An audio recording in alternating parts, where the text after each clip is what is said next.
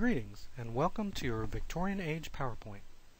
Like other periods we've been talking about, uh, the Victorian Age is one that has both um, chronological and geographical boundaries. You know, it's it's a historical period, but it's also a frame of mind, a way of looking at the world.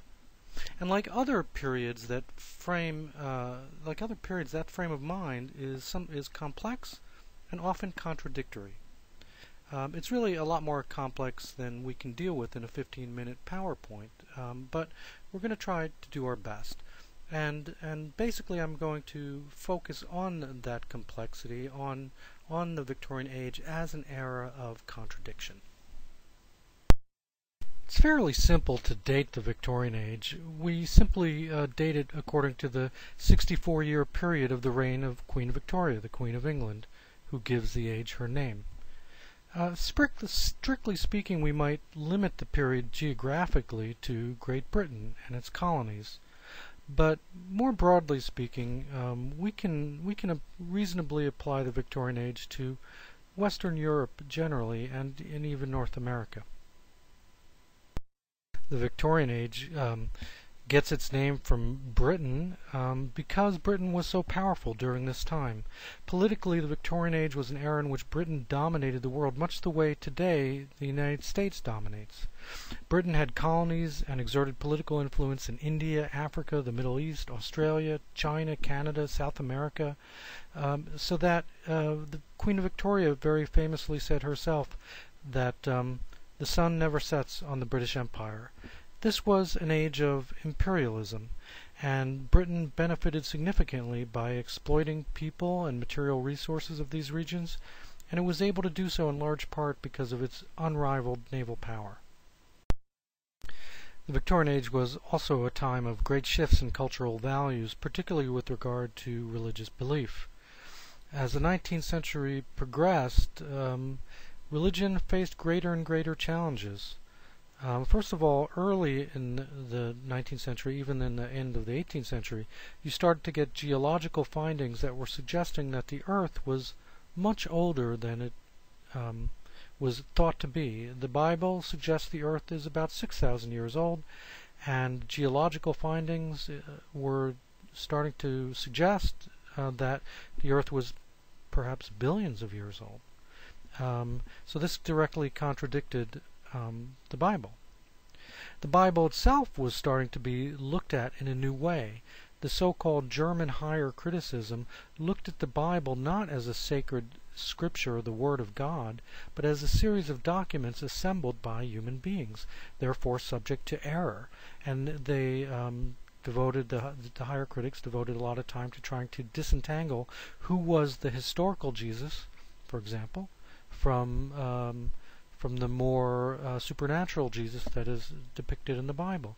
Um, so this was a, a, new way of thinking about about Scripture. Um, and then you get you know thinkers like Karl Marx, who you see to the far right there, um, who basically said, not basically, did say that religion was the opiate of the masses. A, a very severe criticism of religion. He was arguing that religion is used to um, convince people not to rebel against the powerful. It's a way of, of tricking people, fooling people into accepting their own oppression. Uh, Charles Darwin, who wrote a few years after um, the Communist Manifesto, which of course is Marx's great contribution to Western culture. Uh, Charles Darwin came out in 1859 with The Origin of the Species um, which I'm sure you all know, uh, advanced the theory of evolution. This, like the geological evidence, also contradicted the Bible. The Bible states that, um, you know, God created the earth in six days and created man, basically, uh, human beings and animals, um, as complete species all at once. Um, Darwin's theory of evolution turns that around, says that you know all species, including man, evolved slowly over a period of time, over millions of years.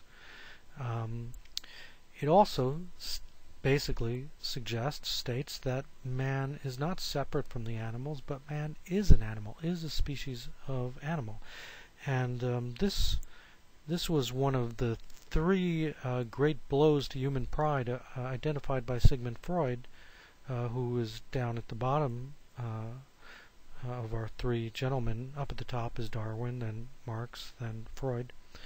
Um, Freud said there were three great blows to human pride. One was the um, heliocentric theory, which we've talked about in previous classes. The other one was the theory of ev- uh, theory of evolution, and um, you know the last was his own notion of the workings of the unconscious, the idea that we are not in control of our minds, but that we we are driven by unconscious, that is desires unknown to us. But more specifically, with regard to this slide, what Freud had to say was that God was simply a fantasy, a childish fantasy about an omnipotent being that was based really on our childish misunderstandings of our own parents' powers, and he thought it was best, the most mature thing to do was to leave God behind. Now, Freud really comes at the end of the Victorian age uh, and uh, is a transitional figure into the modern age. Um, I'm calling this slide The Sea of Faith because Matthew Arnold, who you'll be reading uh, about in Culture and Anarchy, talks about the Sea of Faith. Uh, he compares faith to the ocean, uh, slowly withdrawing from the land. I mean, he was very troubled by by this, um, and like many Victorians, searching for something to replace the retreating sea of faith in God. The Victorian age was a, a, period of time in which the Enlightenment really bore fruit in terms of technology and industrialization, uh, both for the good and, and the bad. Um, uh, for example, uh, you see the development, the invention of the telegraph in the 19th century and uh, the creation of steam engines, which um, uh, weren't just used to operate railways, though though they were, but also were used to um, power machinery, right, like in factories, and that leads to mass production, and mass production leads to greater wealth for the nation, but it also uh, and greater resources and prosperity, but it also leads to a, a, a certain exploitation of, of the lower classes who are themselves almost turned into machines, uh, and the use of things like uh, child um, child labor, for example. Um, but on the brighter side, you also have the, the invention and development of things like photography and anesthesia. And so it was an exciting time to live, much like our own. They were seeing great advances in technology, and uh, progress, uh, technological industrial progress, and those things had both their light and their dark sides. The Victorians had a great love of Romanticism uh, and the Romantic poets, and you can see this in books such as Father and Son, where the the writer Edmund Gosse talks about how, as a child, he was drawn to the works of William Wordsworth and and Percy Shelley and Coleridge, um, but the problem was that um, in the wake of Darwin, the Victorians could no longer view nature as benign. Darwin's theory of natural selection emphasized the notion of survival of the fittest. He and other scientists revealed that whole species had been wiped out. Um, that nature, that in nature the law of the jungle prevailed. This led the Victorian poet Alfred Lord Tennyson to write of nature as nature red in tooth and claw.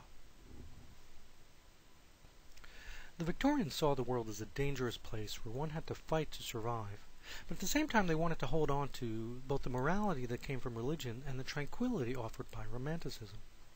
The solution, at least for the middle class, was to split off experience into two realms, public and private, and these realms became uh, encoded by gender. The idea was that the man went off to work into what you might call the capitalist jungle.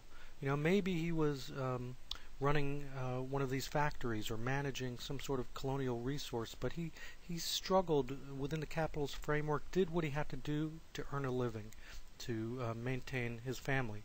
But then he would come home at night uh, uh to an ideal atmosphere, or at least that was the, the idea, the theory, to an ideal atmosphere uh, created by the woman uh, who would turn the home into um, almost like a scene from a romantic poem.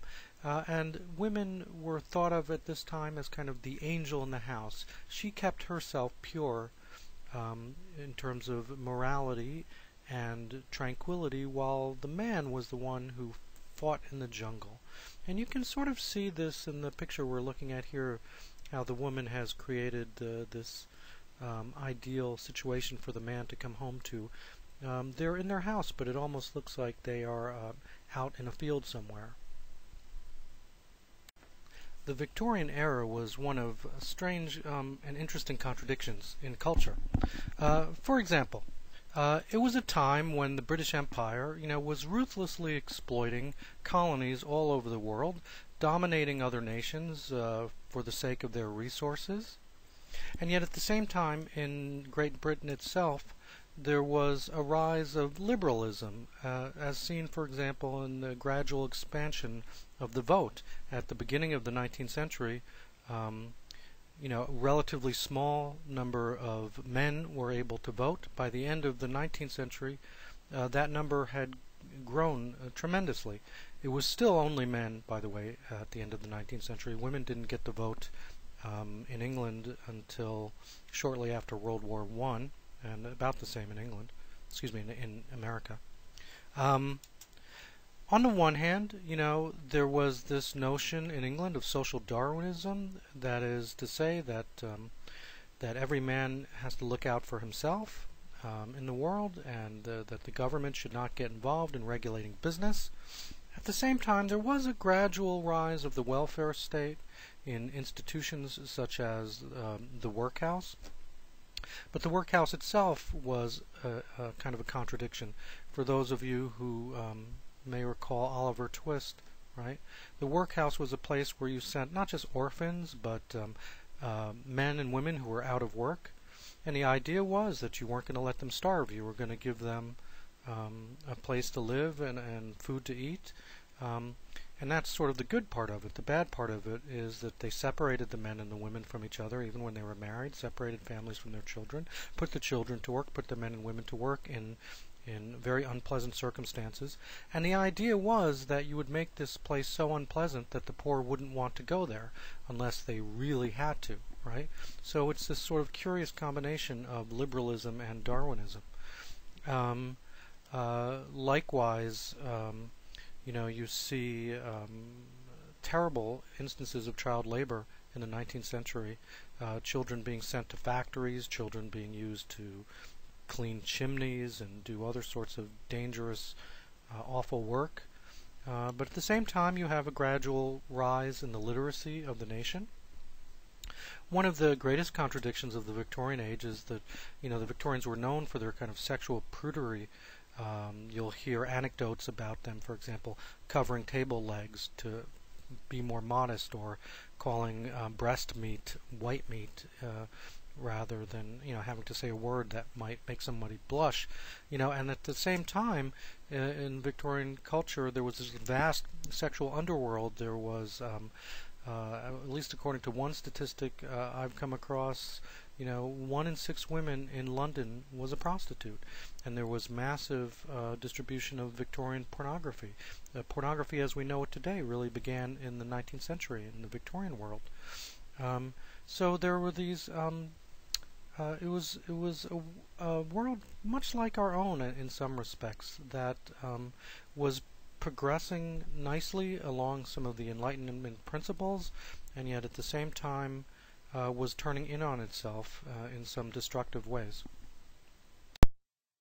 The Victorian era ended with the death of Queen Victoria in 1901 and the um, coronation of um, uh, King Edward, who gave his name to the next uh, era of about a decade, the Edwardian era, era, and that era was um, marked, among other things, by its rejection of the Victorians.